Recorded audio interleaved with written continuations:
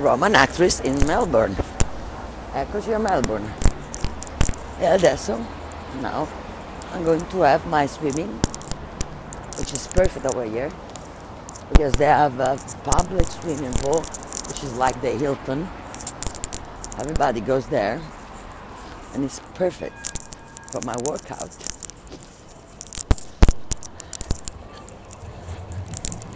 Questa città è veramente bella. And people is really peaceful. Mi piace.